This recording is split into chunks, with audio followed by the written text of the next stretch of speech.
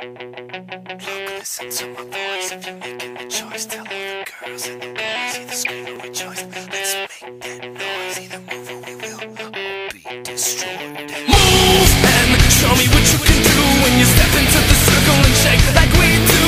And move when you just can't take it. And move if you just feel like breaking. Can you hear me? Stop. Look, listen to my voice. It was never my choice to feel.